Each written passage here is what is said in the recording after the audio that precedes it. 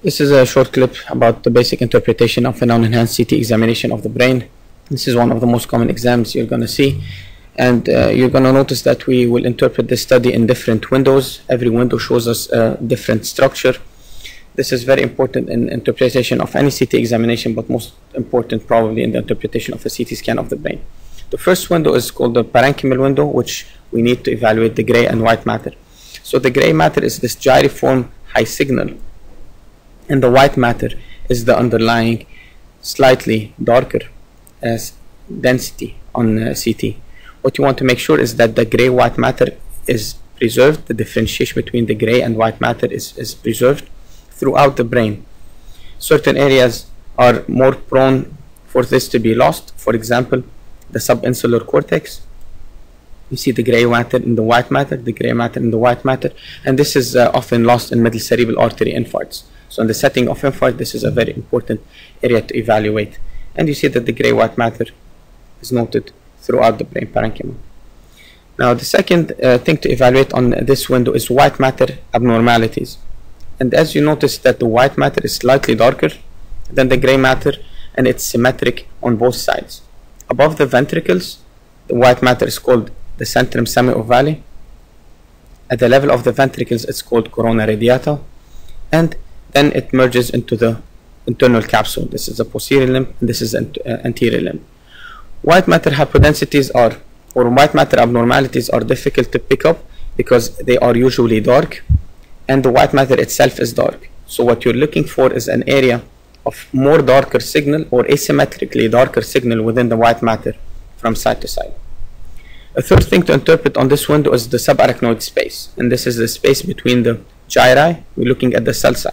And like the ventricles, which are black, these sulci contain CSF and are black. So number one, you want to make sure that the sulci are present, they're not effaced, which would be a sign of hyper intracranial hypertension, among other etiologies. The second is to make sure that they are CSF equivalent. So if you see higher density within these subarachnoid spaces, that's abnormal and that denotes hemorrhage. We can evaluate the ventricles on this window, making sure that the lateral ventricles are of uh, similar size, that the interventricular septum is in the midline, which is a line drawn along the falx, and it's not shifted from right to left. Then we go and see the third ventricle, also in midline and not enlarged, and the cerebral aqueduct leading to the fourth ventricle, also in the midline and not enlarged. When we have hemorrhage in the ventricles, this manifests like any other acute hemorrhage as higher density, and it's usually noted in the dependent portion of the ventricle, which is the occipital horn. Now, after you looked at the gray-white matter differentiation and the white matter, it's time to evaluate the basal ganglia, which are deep white matter nuclei, and you see them brighter in density, the caudate, the putamen, and to evaluate the, uh, the thalamus, which is along the lateral margin of the third ventricle. You do the same for the cerebral hemisphere and the cerebellum. The cerebellum is usually more difficult to evaluate with a CT scan because streak artifacts from the skull base results in degradation of the image at that level. Now once you're done with the, that window, you can switch to the soft window setting in which you can see the skin and the remainder of the soft tissues, for example, in the orbits. You're looking for any lesions, any areas of collection that you see probably with hematomas in the setting of trauma. You're looking at the orbits, the globes, the lenses, the fat planes, and the surrounding muscles. The third window we want to use is the bone window, and when comparing the bone window to the brain parenchymal window, you see that the bone is much well defined, however, you lose the visualization of the brain parenchyma. So this would be the bone window, and this would be the brain window or parenchymal window. And on the bone window, you see, uh, as we said, that the bones are sharp.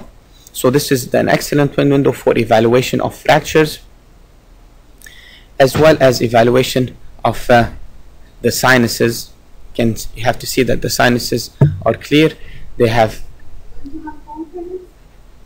they have air which has a black density and when you have sinus disease you're going to have some soft tissue or fluid For example, this is the sphenoid sinus uh, showing abnormality. The sinuses are the maxillary sinuses, the ethmoid air cells, the frontal sinuses, and as we saw the sphenoid sinuses, and don't forget the mastoid air cells. So again, this window is important for evaluation of fractures and evaluation of the sinuses.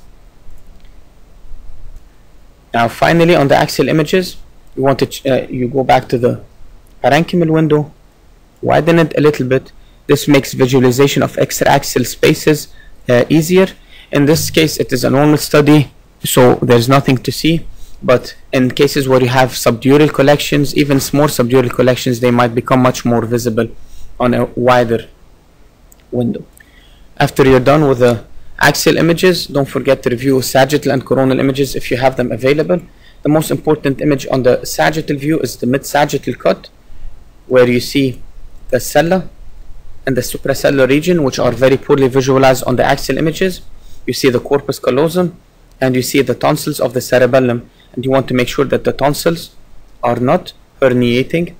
Here to the foramen magnum, you want to make sure that the pituitary gland is not bulging upwards and there are no lesions in the sella or suprasellar region that you might, might miss on the axial images.